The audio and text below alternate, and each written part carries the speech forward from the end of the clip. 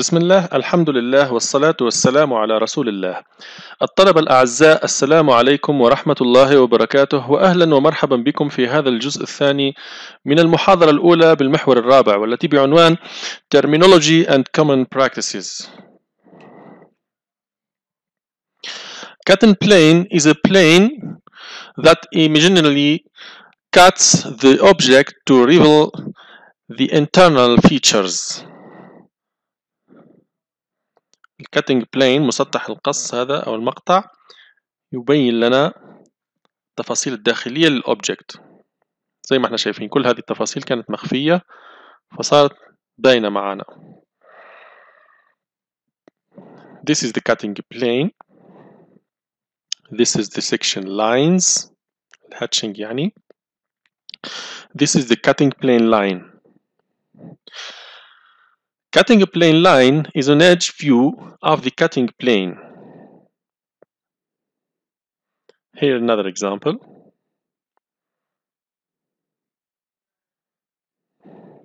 This is the cutting plane. It's not linear. Indicate it indicates the path of cutting plane here on the view.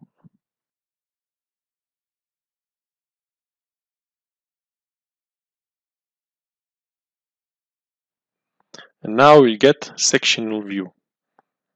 Okay. Cutting plane line styles. As per ANSI standard we use thick line and these arrow indicate viewing direction. Or thick line like this dashed and these also indicate viewing direction.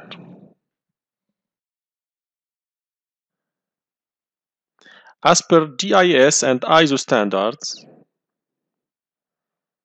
we use something like center line, thin, and the arrows here indicate the viewing direction.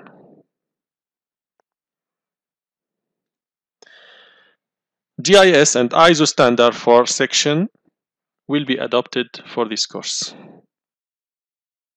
Section lining. Section lines or cross hatch lines are used to indicate the surfaces that are cut by the cutting plane. Here we have section lines, hatching. It will be drawn with 4H pencil.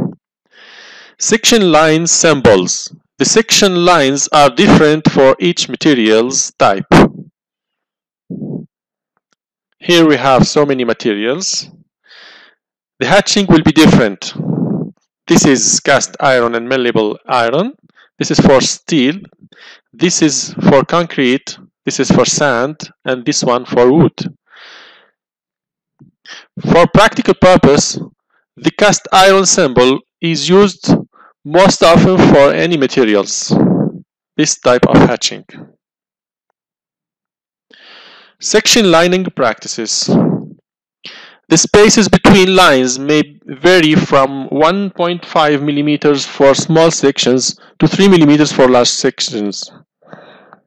This is a small section, this is a big section.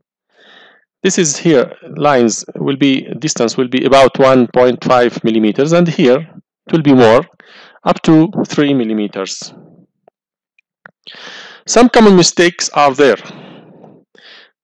To make hatching like this it is wrong and like this it is wrong.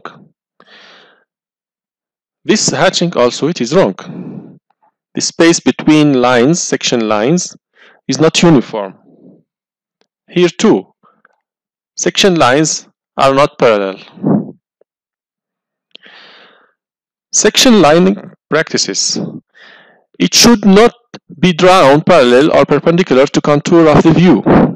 Here we have the contour of the view, here, here, horizontal and inclined and perpendicular.